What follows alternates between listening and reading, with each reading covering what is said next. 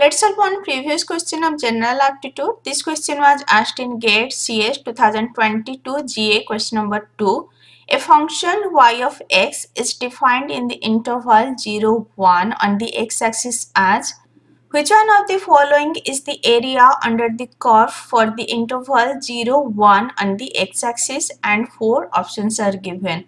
Let's first draw the graph. Now x-axis, y-axis, x value can be 1 by 3, 3 by 4 and 1. y value can be 1, 2, 3. Now for x greater than equals to 0 less than 3 y of x will be 2. Next for x value greater than equals to 1 by 3 and less than 3 by 4 y of x equals to 3.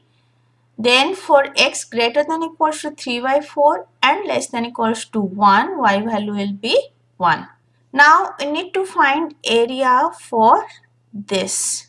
This is combination of three rectangle. We can find individual rectangle area and we can add them. We know area of rectangle equals to length multiplication breadth. Now for first rectangle area equals to 2 multiplication 1 by 3 minus 0. Then for second rectangle area will be 3 multiplication 3 by 4 minus 1 by 3. Now for third rectangle area will be 1 multiplication 1 minus 3 by 4.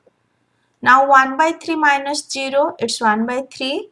So 2 by 3 then 3 by 4 minus 1 by 3. 4 multiplication 3 it's 12. Now 3 multiplication 3 it's 9 minus 4 multiplication 1 it's 4. So we'll get 9 minus 4, 5 by 12 multiplication 3. It will be 15 by 12. Next 1 multiplication 1 minus 3 by 4 it's 1 by 4. Now we got 2 by 3 plus 15 by 12 plus 1 by 4. Now solve it 12. 3 multiplication 4 is 12. So 2 multiplication 4 is 8 plus 15 12 by 4 it's 3 3 multiplication 1 is 3 15 plus 3 it's 18 18 plus 8 it's 26 divide 12 now divide by 2 it will be 13 by 6 13 by 6 it's present in option C. So answer will be option C. So area is 13 by 6 for the curve of interval 0 to 1 on the x-axis so this whole area is 13 by 6. If this lecture is helpful for you, please like, share and subscribe. Thank you.